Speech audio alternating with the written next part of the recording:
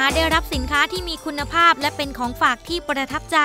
พี่สิโลธรสิริวัจนาถหรือพี่อ้อ เกษตรกรตำบลโคกปีบอำเภอศรีมโหสถจังหวัดปราจีนบุรี จึงหันมาทำส้มโอแบบบรรจุกล่องสวยงาม เป็นแบบเกรดพรีเมียมจำหน่ายค่ะ ผ่านทางสื่อออนไลน์ และเป็นของฝากสำหรับนักท่องเที่ยวที่เข้ามาเยี่ยมเยือน โดยทำมากว่า 3 ปีแล้วค่ะ ส้มโอทุกลูกก่อนจะบรรจุลงกล่องต้องได้มาตรฐานตามที่กำหนดไว้ ทั้งขนาดเส้นรอบวง รสชาติและสีผิว โดยพี่อ้อจะเป็นผู้ออกแบบกล่อง และช่วยกันทำกับสามีทั้งหมดค่ะทำไมพี่อ้อถึงมาทำส้มโอบรรจุกล่องแบบนี้ขายล่ะคะพี่ อ๋อ เริ่มแรกเลยนะคะ ที่บ้านเนี่ยเปิดศูนย์บ่มเพาะเกษตรกรรุ่นใหม่ Young Smart Farmer อ้อจะเป็น Young Smart Farmer ปี 63ค่ะอยู่แล้วค่ะ แล้วบังเอิญลูกค้าเนี่ยเขาก็ตามอ้อมาตั้งแต่เมืองทอง สิงหาปีที่แล้วอ้อไปออกบูธที่เมืองทอง เขาติดใจส้มโอที่นี่ค่ะส้มโอที่สวนเขาชิมที่เมืองทองแล้วเขาติดใจเขาก็เลยตามพิกัดมาที่บ้าน มาเที่ยวที่สวนเขาก็ปอกชิม แล้วทีนี้เขาก็เลยสนใจอะเนาะทีนี้เราเห็นเราเราเลยเห็นว่าเอ๊ะใส่ถุงพลาสติกอะมันก็ดูไม่เป็นแบรนด์ของเราอืมเราก็เลยทำเป็นแพ็กเกจเป็นกล่องค่ะเป็นกล่องขึ้นมาค่ะ ส้มโอบรรจุกล่องมี 2 สายพันธุ์ได้แก่พันธุ์ทองดีและพันธุ์ขาวน้ำผึ้งขายในราคากล่องละ 250 และ 280 บาท ขึ้นอยู่กับสายพันธุ์ โดย 1 กล่องจะบรรจุ 2 ลูกค่ะ แล้วพอมาทำเป็นบรรจุกล่องแบบสวยๆแบบนี้แล้วเสียงตอบรับลูกค้าเป็นไงบ้างคะพี่ตอนนี้ที่ส่งพื้นๆเลย 50 กล่องค่ะ เต็มที่เลย 3 400 กล่อง อ้อแพ็คกับแฟน แล้วก็ครอบครัว 5 คน ไออย่างช่วงโควิดแบบนี้เรายังยังขายดีอยู่ไหมคะดีมากค่ะพี่ ไม่พอขายด้วยค่ะพี่อืมค่ะ ทำไมถึงถึงขายดีอะคะพี่ คนไม่ค่อยออกบ้านไงพี่ แล้วเขาก็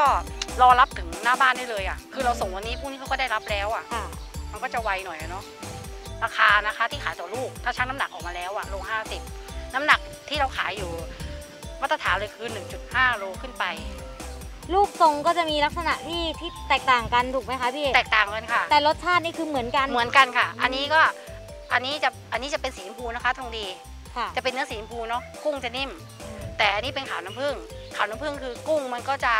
กรอบๆสีผึ้งเลย รสชาติ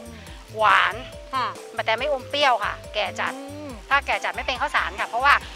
อายุที่เก็บคือ 7 เดือนครึ่ง คุณผู้ชมคะมาถึง สวนเนี่ยก็เหมือนมาไม่ถึงค่ะ และเดี๋ยววันนี้พี่อ้อจะพาไปชมการปลูกการดูแลส้มโอแบบปลอดสารนะคะและที่สำคัญวันนี้ดิฉันต้องได้ชิมส้มโอสดๆจากต้นแน่นอนค่ะ ไปกันเลยค่ะพี่อ้อ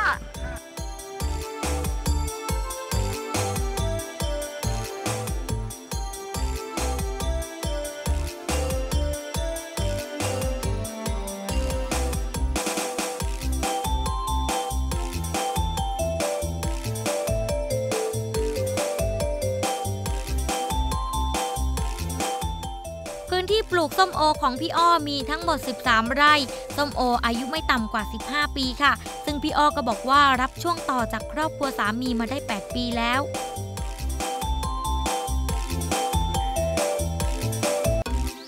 อยากให้พี่อ้อเล่าที่มาหน่อยว่าทำไมเราถึงมาทำสวนส้มโอล่ะคะพี่ เริ่มแรกเลยนะอ้อทำงานทางหลวงชนบท 2 ปี แล้วลาออกอ้อไปทำงานอยู่งานบริษัท พักหนึ่งหกปี ทีนี้เกิดการเบื่อหน่าย พ่อแม่เขาก็เลยบอกว่า ถ้าไม่กลับมาทำสวนเขาจะขายที่ทิ้ง แล้วบังเอิญเราก็ไม่จะไม่มีความรู้เลย เพราะเราไม่ได้จบเรื่องสวนเรื่องอะไรเลยแหละ เราก็เลยลองผิดลองถูกมาไง 8 ปี มาทำสวนพื้นที่ทั้งหมดกี่ไร่ที่ที่เราทำ13 ไร่ค่ะ13รวมเช่านะคะ ของเราเองของเราเองอะสิบเช่าค่อยสามไร่ พี่อ้อจะปลูกส้มโอแบบตามฤดู 1 ปีมีผลผลิตเพียงครั้งเดียว คือช่วงเดือนกรกฎาคมถึงสิงหาคม ซึ่งส้มโอสวนที่ปลูกมีทั้งหมด 2 สายพันธุ์ คือทองดีและขาวน้ำผึ้งมาดูผลกันบ้างค่ะคุณผู้ชมอย่างอันนี้สายพันธุ์อะไรคะนี่ทองดีค่ะ พันธุ์ทองดีอันนี้จะเก็บได้ประมาณกลางเดือนนี้ค่ะจุดเด่นของพันธุ์ทองทองดีนี่มีจุดเด่นยังไงบ้างนะพี่ เนื้อสีชมพู เปลือกจะบาง ยิ่งอายุเยอะต้นแก่เนี่ย เปลือกจะยิ่งบาง รสชาติแต่ที่สวนแตกต่างอย่างคือ จะไม่ฉ่ำน้ำเนื้อในจะแห้งค่ะ ลูกค้านี่ติดใจมาก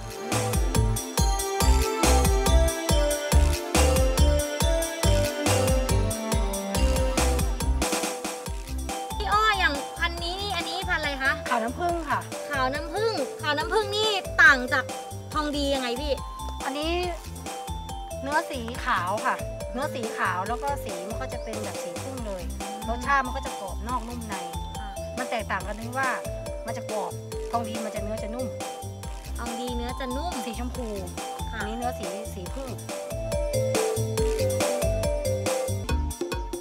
การดูแลส้มโอก่อนที่จะออกผล ต้องบำรุงด้วยปุ๋ยชีวภาพและปุ๋ยคอก ตัดแต่งกิ่งให้ต้นโปร่งลดน้ำเต็มที่ช่วง 3 วันแรก และเมื่อส้มโออายุได้ 4 เดือน ก็จะต้องตัดแต่งช่อให้ 1 ช่อเหลือเพียงลูกเดียว เพื่อให้ลูกไม่แย่งน้ำเลี้ยง มีผลขนาดใหญ่ ให้น้ำวันเว้นวัน ประมาณ 40 นาที ใส่ปุ๋ย 2 เดือนครั้งโดยระยะเวลาการเก็บเกี่ยวพันธุ์ทองดีจะอยู่ที่ 8 เดือน ส่วนพันธุ์ขาวน้ำผึ้ง7 เดือนครึ่งค่ะ แต่ละครั้งจะได้ผลผลิตเฉลี่ย 10 ตันต่อปี ในเรื่องของการปลูกส้มโอนี่ปลูกยากไหมคะพี่ไม่ยากค่ะ มีวิธีการปลูกยังไงบ้างเรามีต้นพันธุ์ของเราอยู่แล้วเนาะมีทั้งตอนกิ่งและเสียบยอด แล้วก็ต้นที่เราทำนี่แหละมาปลูกค่ะ ดูแลก็ไม่ยากค่ะ 4 ปีก็ได้ผลผลิตแล้วสี่ปีได้ผลแล้วค่ะสวนอ้อเนี่ยถ้าผลผลิตอ้อเนี่ยอ้อจะชิมทุกลูกก่อนตัดจะเน้นคุณภาพ รสชาติไม่อร่อยอ้อไม่ขายส้มโอดูง่ายๆคือน้ำหนัก จับดูน้ำหนักเป็นน้ำหนักค่ะ ถึงจะแก่จัด แล้วก็ดูที่ตา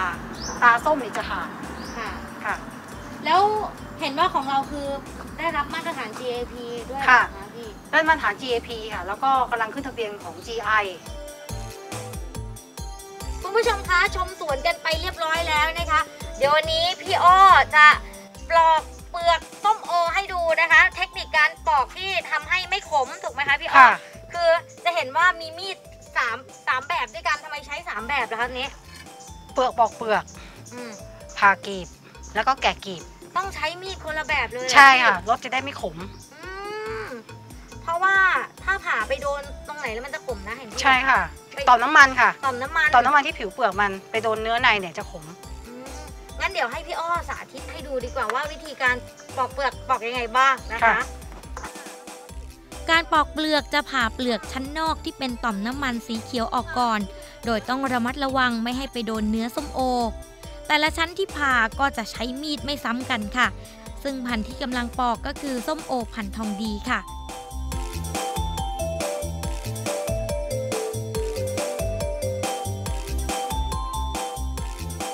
ส้มโอที่นี่จะอายุต้น 15 ปี ยิ่งไว้แก่อายุแก่ยิ่งจะดีค่ะ เปลือกจะบาง จุดเด่นของที่นี่คือเปลือกบาง น้ำไม่แฉะ เนื้อแน่น หวานอมเปรี้ยวค่ะ แล้วก็น้ำหนักผลได้มาตรฐานค่ะ เพราะผ่าน GAP ได้มาตรฐานรับรอง GAP ค่ะ ผลไม้ที่สวนอ้อเนี่ย มีใบมาตรฐาน GAP ทั้งหมดค่ะ คือลูกค้าซื้อไปทานเนี่ย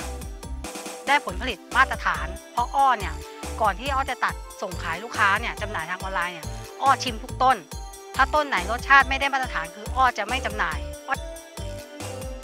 เป็นอีกหนึ่งสวนส้มโอที่มาแล้วไม่ผิดหวังจริง ๆ ค่ะ เพราะว่าได้ทั้งความรู้ใหม่ ๆ และยังได้ชิมส้มโอสดๆจากต้นอีกด้วย หากใครที่สนใจอยากจะมาศึกษาดูงาน หรือมาเยี่ยมชมสวนส้มโอของพี่อ้อ พี่อ้อก็บอกว่ายินดีต้อนรับ แต่ต้องติดต่อกันก่อนล่วงหน้าค่ะ